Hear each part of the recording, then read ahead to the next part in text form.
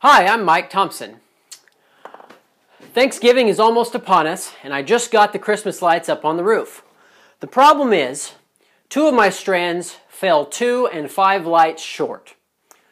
So the question is, what am I going to do? This year we upgraded to LED lights. You can string 90 of these LED C9 strands together, where you used to be only able to string four uh, C9 incandescents together. These draw such little power that you can just string them all together before you'll ever pop a breaker. But the problem with LED lights is they're wired a little bit differently. So if you're going to go and change things, uh, it's a little bit more complicated. Incandescent lights are simply wired in parallel. There's two wires that run all the way from the prongs all the way down the cord to the other end, and each light taps into each, uh, each side of the wire. These LEDs are a little bit different. A typical LED will use about 2 volts, give or take. Well, a white LED takes a lot more power, so they're in the 3 to 4 volt range.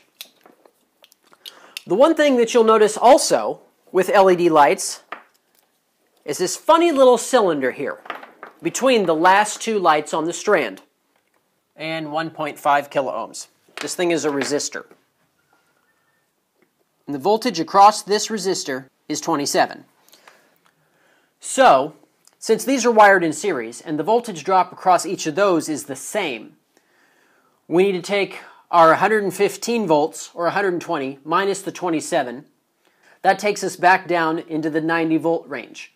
So we take our 90 volts, divide it by the 25 lights on our strand, and we're a little bit less than 4 volts per light, which is in oh, 3.5, 3.6 or so. I'm just doing it in my head, uh, which is typical for a white LED.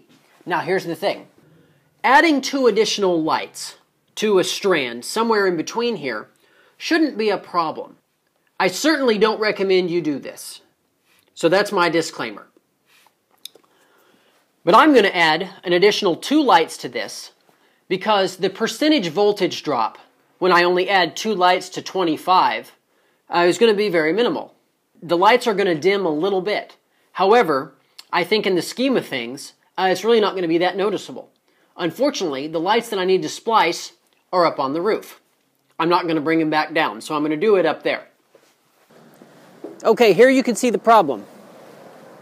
My last light is two shingles short from this corner.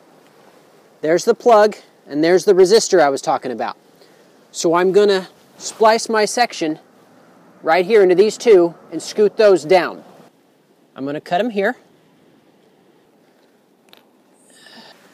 All right, now the one thing to note here, though, is where you cut these. You'll notice that I cut my filler strand much, much longer, almost to the next light, so that when I splice this new section in, I won't lose any length between these because they, they barely reach between the shingles as it is. If I were to just use this piece that I cut right in half, uh, it could end up short and then my job would have to be redone. So I went ahead and make sure to cut more than I need, I've got an extra inch and a half on each end. So I'm going to connect it to the light just upstream. Now I'm connecting my two that run straight through. I'll use my tape and tape them up.